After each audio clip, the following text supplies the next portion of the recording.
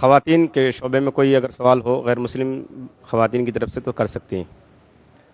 My name is Dhanashri Sawant and I am student of B computer second year so I just want to ask is the first pair of human being is heaven being prove but it is not establish yet but now house will be going to prove it because we can go back in time thank you मैंने सवाल पूछा है कि कुरान मजीद और दिगर मज़हब की किताब में लिखा है कि सबसे पहली जोड़ी आदम और ईव थी। आदम सलाम और हवा सलाम थे। लेकिन साइंस इसे तस्लीम नहीं करता। हम वक्त में फिर से वापस नहीं लौट सकेंगे। तो किस तरीके से हम साबित करेंगे कि सबसे पहले जो जोड़ी है, वो आदम सलाम और बीवी हवा थे?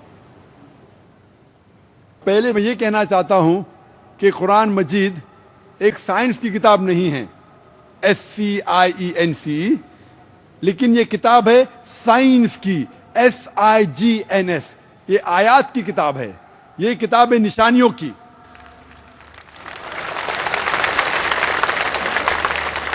और कुरान मजीद में सब साइंस के फॉर्मूला नहीं है, लेकिन कुरान मजीद में छह हज़ार से ज़्यादा आयतें हैं। छह हज़ार से ज़्यादा निशानियाँ हैं और इस छह हज़ार में से एक हज़ार से ज़्यादा, अल्हम्दुलिल्लाह, साइंस के बारे में बात करती है। और मैं ये कहना चाहता हूँ कि साइंस इतनी एडवांस नहीं है तो मैं क्यों कुरान मजीद में हर बात पे अमल करता हूँ? जो भी कुरान मजीद में लिखा है साइंस के बारे में। अगर आप मेरी तकरीर सुनेंगे मिसाल के तौर पे, हम कह सकते कि 80 फ़ीसद साइंस प्रूफ कर चुका है कि जो भी कुरान में लिखा है सौ फ़ीसद सही है। अस्सी फ़ीसद जो कुरान में लिखा है साइंस ये साबित कर चुका है कि सौ फ़ीसद सही है। अभी बीस फ़ीसद इज़ एम्बिगुअस जो हमें पता नहीं। इस बीस फ़ीसद में से एक भी फ़ीसद अभी तक साबित नहीं किया गया है कि वो गलत है। अननोन एम्बिगुअस पता नहीं तो हम डालते उसे डाउटफुल कैटेगरी में। डाउटफुल वी डोंट नो तो मेरी लॉजिक ये कहती है, अगर 80 फ़ीसद, सौ फ़ीसद सही है, और 20 फ़ीसद डाउटफुल है अननोन है एम्बिगुअस है, उसमें से पॉइंट वन परसेंट भी साबित नहीं हो चुका कि गलत है। क्योंकि साइंस इतनी एडवांस नहीं है कि उसे साबित कर सके। तो मेरी लॉजिक ये कहती है कि ये 20 फ़ीसद भी इंशाला सही होगा। और इस 20 फ़ीसद में आता है कि पहली जोड़ी इंसान की थी आदम सलाम और बीवी हवा। साइंस इतनी एडवांस नहीं कि ये कह सके कि इस ज़िंदगी के बाद और एक ज़िंदगी है लाइफ आफ्टर डेथ आखिरत के बारे में साइंस इतनी एडवांस नहीं। साइंस ये नहीं तस्लीम करती जो कुरान में लिखा है कि कुरान में ज़िक्र है जन्नत और दोजक का। कुरान में ज़िक्र है जिन का। साइंस अब तक इतनी एडवांस नहीं कि इसके बारे में कह सके कि ये सही है। तो बहुत सी चीज़ें जो कुरान मजीद में लिखी थी 1400 साल पहले, अक्सर चीज़ें साइंस तस्लीम नहीं करती थी। लेकिन आज साइंस एडवांस होने के बाद, साइंस तरक्की करने के बाद 80 फ़ीसद से ज़्यादा हम ये कह सकते हैं कि साइंस आज तस्लीम करती है कि सौ फ़ीसद सही है। इनशाला हो सकता है कि 50 साल बाद 100 साल बाद 200 साल बाद साइंस ये भी तस्लीम करेंगी कि जन्नत है दोजक है जिन है एंजल है और ये भी तस्लीम करेंगी कि पहली जोड़ी आदम और बीवी हवा थी। I am Waseem Bhandari I am from Bijapur, Karnataka I asked one of my friend to to uh, this program, but he said, I cannot come, but I have a question, and you asked this question to Dr. Zakir Naik. So the question goes like this.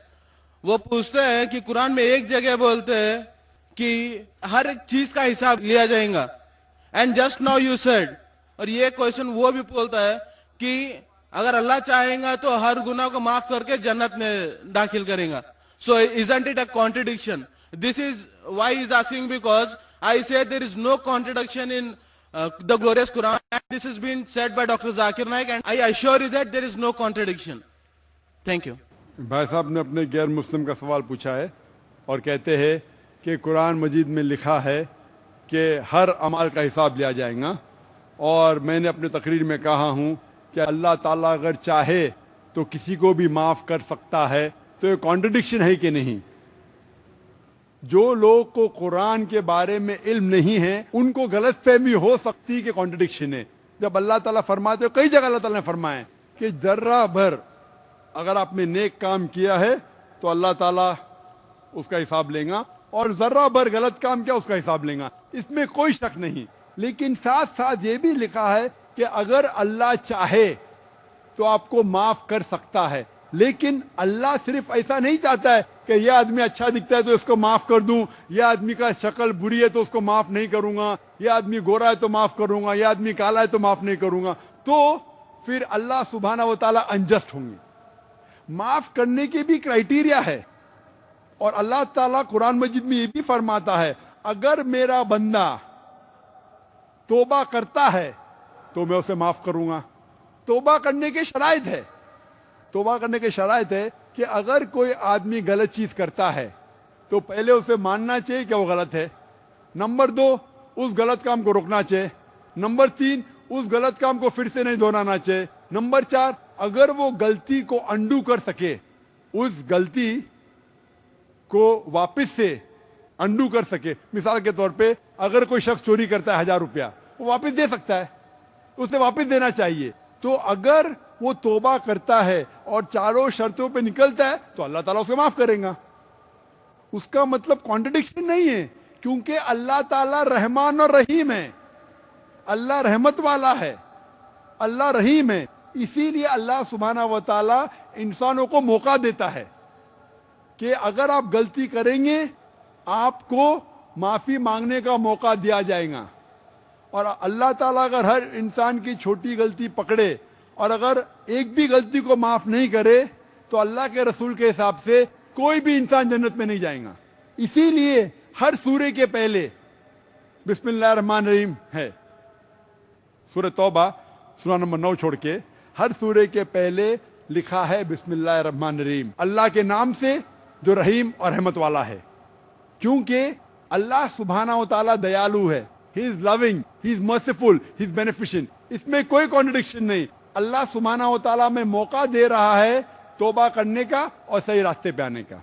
Hope question appreciated class that you give it had a good impact on people as well as the preaching mood that you carried about the supreme lord that is Allah is most praise this is what the society really needs today but as of some things which I heard from you there are many questions but I'll ask one as of the formality is concerned. You said that. Uh, brother, please may I know name, brother? Oh, sorry, sorry. I am Dilip Mishra and I have been studying Gita and Bhagavatam and various scriptures. And uh, I am B computers in profession and I am doing software job. One of my colleagues, Majid Khan, he invited me. And basically I came to know about you when I was working with him and we were both undergoing training. So he saw that I practiced something and he asked me some questions like you had already talked of Natasya Pratimasti and various other things. And I had refuted all the arguments in the sense that we- based on scriptures, I said that what Zakir Naik is saying is wrong. So he could not refute, counter argue my arguments. So he said that when we'll have a seminar, we will talk to Mr. Zakir Naik directly. I said, if you allow, I can talk. I have no problem. So if you don't mind, can I ask you a question? Sure, most welcome, brother. Thank you. Now you said that actually nobody is the son of God. So I do understand that as of begetting a son, obviously nobody is directly begot as a son here. But in Bhagavad Gita, at various places it is already mentioned that uh, Krishna is saying Jiva loke jiva bhutana sanatana manasashta indriyani prakritisthani karshati. I know you are already knowing about it, but I'll just read the translation if you don't mind. It says, The living entities in this conditioned world are my eternal fragmental parts. Due to the conditioned life, they are struggling very hard with the six senses, which include the mind. Here, the Supreme Lord Krishna is saying that you are my part and parcel. And there is one more uh, special shlok which says that I am the father, I am the mother, I am the seed giving father. So that is 9.17. If you want, I can just read it for you. It says, पिताहमस्य जगतो माता धाता पितामह वेद्यम पवित्रम ओंकारम वृक्षाम यजुरेव च I'll just read the translation. I am the father of the universe, the mother and the support and the grandsire. I am the object of knowledge and the purifier and the syllable Om. I am the Rig, the Sam and the Yajur Vedas. So here if we see that the Supreme Lord is saying, all of are my sons, I take care of them. So I do agree with your first point saying that somebody is directly begotten as a son. That can be denied. But as of spiritual part and parcels, we are surely the son of the Lord and we deserve his mercy. So, I felt that this bit contradicts with what you already said. भाई साहब ने एक अच्छा सवाल पूछा है। I am sorry I answer in Urdu because the programme is in Urdu and I believe you can understand Hindi माशाल्लाह my Hindi is also not that good it is simple with all the grammatical errors भाई साहब ने सवाल पूछा है, कहा है कि उन्होंने मेरी तकरीर सुन चुकी है, और कुछ बातों पे उसे एतराज़ है, और उन्होंने कहा उनके दोस्त से कि जाकिर कहते नात से प्रतिमस्ती, और मैं इसमें नहीं मानता हूँ। क्या मैं कुछ सवाल पूछ सकता हूँ? मैंने बोला, बेशक। और उनके सवालात में उनने कहा कि जब मैं कहता हूँ कि अल्लाह सुबहाना ताला ने बेटा नहीं जना, लेकिन उन्होंने भगवत गीता के दो श्लोका का ज़िक्र किया, और एक श्लोक में लिखा था कि श्री कृष्ण कहते हैं कि मैं आपका पिता हूँ, मैं आपका माता हूँ। तो ये सवाल करने वाले कहते हैं कि मैं मानता हूँ कि खुदा बेटा नहीं जनता। God can not beget a son लेकिन आम सन हो सकता है। आम son for example if you read the Bible Bible says in the book of Romans that all led by the spirit of God they are sons of God जो भी अल्लाह के अहकाम को मानता है, वो अल्लाह का बेटा है। उस अंदाज में अगर आप कहते हैं कि हम भगवान के बच्चे हैं I have got no problem हम भगवान के बच्चे हैं। मिसाल के तौर पे अगर कोई ज़यीफ इंसान अगर मुझे कहेगा या कोई नौजवान को कहता है, बेटा, इधर आओ। तो वो फ़ौरन बोलेगा, जी चाचा जान आएगा। लेकिन अगर कहेगा कि, आप मेरे जने हुए बेटे हैं, इधर आओ। तो वो उसको एक लाफा मारेगा। बेटा मतलब सन। वो छोटा आदमी है ही इज़ गिविंग रिस्पेक्ट मिसाल के तौर पे मेरे इंट्रोडक्शन में शेख फैजुर रहमान ने कहा कि शेख दीदात ने कहा, डॉक्टर जाकिर नायक को बेटा और फिर, बेटा मतलब मैं उनकी इज़्ज़त करता हूँ, वो मेरे वालिद के समान है, लेकिन अगर वो लिखते थे कि मेरा जना हुआ बेटा तो प्रॉब्लम है। आप समझ रहे कि नहीं? दिस इज़ द लैंग्वेज तो इस तरीके से अगर आप बेटा कहते हैं और कहते हैं कि गॉड इज़ फादर तो अगर आप कॉन्टेक्स्ट में देखते हैं कि वो हमारा पालने वाला है, वो हमारा खालिक है, वो हमारा रब है, उस तरीके से आप कहते हैं, मुझे कोई भी प्रॉब्लम नहीं। लेकिन इसीलिए कुरान मजीद में निन्यानवे सिफत है अल्लाह ताला की। उसमें से अब जो आसान है जानबूझ के नहीं लिखा है, लेकिन रब जो और मुश्किल है, रब बोलना अब से और मुश्किल है। जान अपने सिफतों में अब को नहीं लिखा। क्यों? लोग उससे गलत मानी ले सकते हैं। वरना फादर बोलना अच्छी बात है। और हम आमतौर पे कहते हैं, बेटा, इधर आओ, कोई हर्ज नहीं। इसीलिए मैं कहता हूँ बाइबल में अगर कहते कि जो लोग अल्लाह की बात मानते हैं, वो अल्लाह के बेटे हैं, मुझे कोई हर्ज नहीं। उस तरीके से ईसा सलाम बेशक अल्लाह सुबहाना व ताला के भेजे हुए अजीम पैगंबर थे। वो बेशक बेटे थे, लेकिन अगर कोई कहता है कि ईसा सलाम अल्लाह के जने हुए बेटे हैं तो ऑब्जेक्शन आप समझे ना? तो बाइबल में किधर भी नहीं लिखा है कि ईसा सलाम अल्लाह के जने हुए बेटे हैं। एक वर्स है gospel of John chapter number three verse number sixteen जिसमें लिखा है, क्या for God soul of the world that he gave is only begotten son believe it in him shall not die, but have everlasting life.